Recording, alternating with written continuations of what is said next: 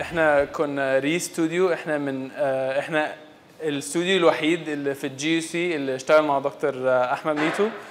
آه، طبعا throughout ال semester كان دكتور بي مش بس بي بيدينا من العلم أو أو بيعلمنا لا ده كان من الأول خالص بيحسسنا إن هو معانا في كل step بي push us بي بيساعدنا في كل حاجة.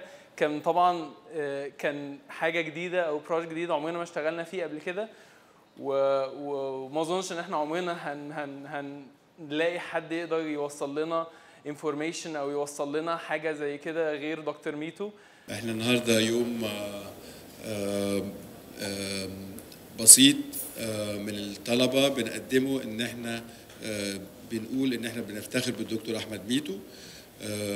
إحنا مش مش عاملين اليوم ده للحزن إحنا عاملينه ان إحنا نفرح آه، ان في واحد آه، بال آه، بالصفات دي وبالعلم ده جه علم جزء من الطلبة بتا- بتاعتنا والطلبة كانت مقتنعة بيه ومبسوطة منه وتعلمت منه كتير.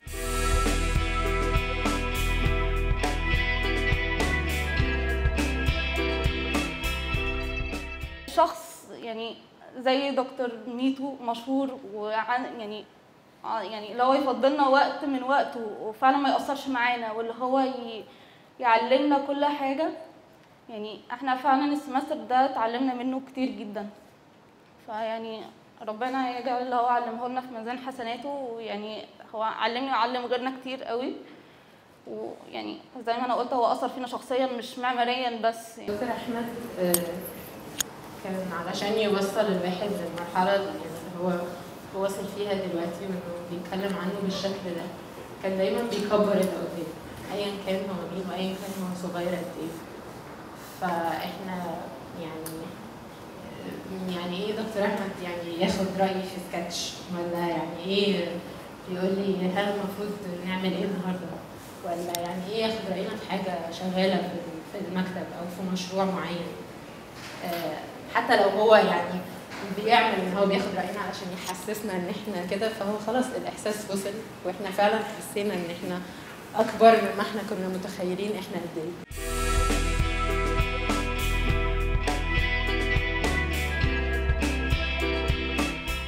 كنت معاه بعد كده في عين شمس آه، سنة كانت من أمتع السنين اللي درستها في حياتي وشفت ال staff حتى اللي واقف معاه بيبص راح ميتو إزاي هو بيتكلم عشان يتعلم منه.